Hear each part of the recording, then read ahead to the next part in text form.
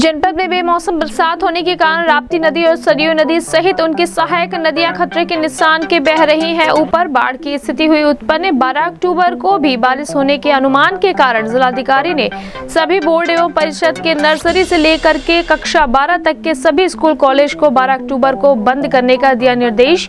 ADM finance ने दी जानकारी। कहा, नदियों के बढ़ते जलस्तर से सौ से अधिक गाँव है। प्रभावित 25 गाँव हुए। मैरुंड राहत सामग्री का किया जा रहा है वितरण।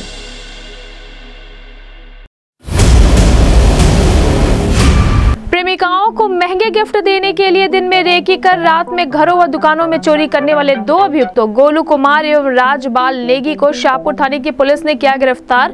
चोरी का माल पाँच हज़ार नगद, दो देसी तमंचा, एक ज़िंदा कारतूस किया बरामद। एसपी सिटी ने किया खुलासा।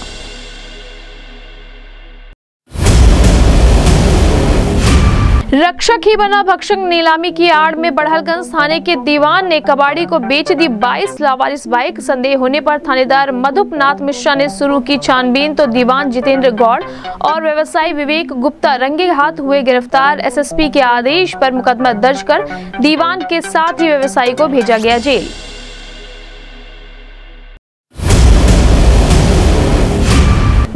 चैन स्नेचरों, शहजाद और सलाम के ऊपर कैंट थाने की पुलिस ने किया गैंगस्टर एक्ट के तहत कार्रवाई। एसपी सिटी कृष्ण कुमार बिश्नोई ने दी जानकारी।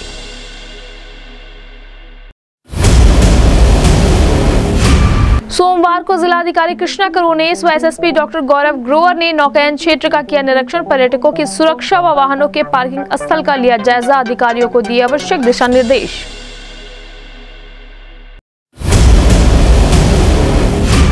स्वदेशी मैपल ऐप के माध्यम से आम नागरिकों को यातायात और सुरक्षा देने तथा अच्छी ट्रैफ़िक व्यवस्था को उपलब्ध कराने के लिए एसपी ट्रैफ़िक एवं आरटीओ की अध्यक्षता में बैठक का किया गया आयोजन। एसपी ट्रैफ़िक महेंद्र पाल सिंह ने कहा, मैपल ऐप से नागरिकों को रियल टाइम में मिल सकती है ट्रैफ़िक की जानकारी।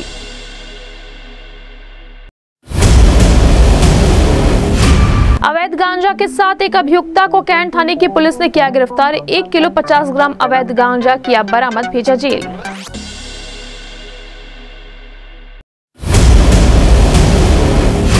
मनोविज्ञान विभाग द्वारा दिग्विजय नाथ स्नातकोत्तर महाविद्यालय में आयोजित दो दिवसीय संगोष्ठी का हुआ समापन। मुख्य अतिथि ने कहा, मानसिक बीमारियों के लक्षणों की जानकारी करके हो सकता है बचाव।